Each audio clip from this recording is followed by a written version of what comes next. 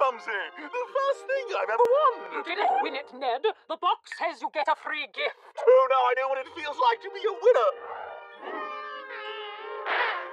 A necklace. Oh, I'm a winner again, Mumsy. Again. Were we even invited to this party?